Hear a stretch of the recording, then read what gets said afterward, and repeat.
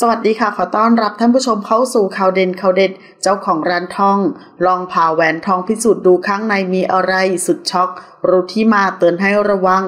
เรียกได้ว่าเป็นอีกหนึ่งเรื่องราวที่ชาวโซเชียลต่างเข้ามาแสดงความคิดเห็นเป็นจำนวนมาก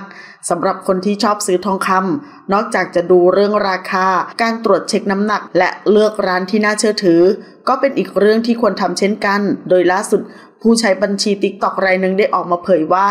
ช่างทอง หวังต้มร้านทองทำทองสอดไส้ ทำทองสอดไส้เงินแท้ประทับตาร้านไปหลอกขายได้สิบวง เจ้าของร้านทองเคยได้ข่าว จึงลองผ่าแหวนพิสูจน์ ก่อนแจ้งความตามจับช่างรับสารภาพทำมาหลายครั้ง เหตุเกิดย่านถนนกำนันแม้น บางขุนเทียน ร้านทองต้องระวัง